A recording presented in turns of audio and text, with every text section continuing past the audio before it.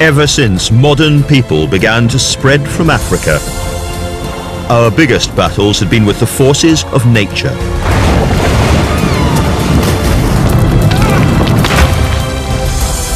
But as we created the first civilizations, we find we faced a sharper threat. Human nature. 3,000 years ago, the world was being churned and pulled apart in the first great age of empire. This was a time of vicious civil wars all the way from China through India to the Mediterranean. And you'd think that all this violence would push the human story back.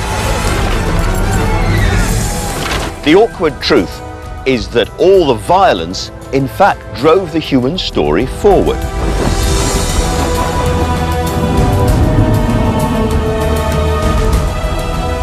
This is a period of extraordinary new thinking on everything from democracy to God from some of the greatest minds we've ever come across.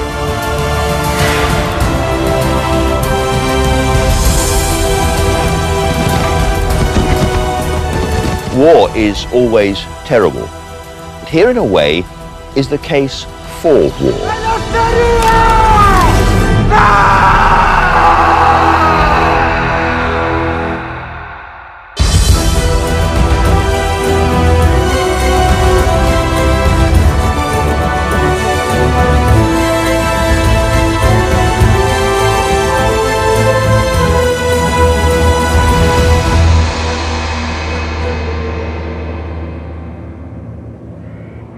The first empires spread a pall of smoke and a stench of death.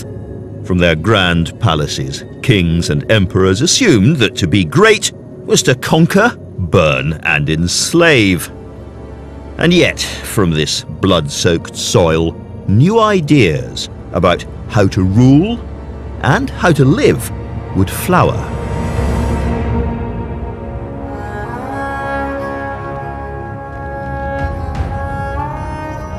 The Palace of Nineveh in what is now Iraq.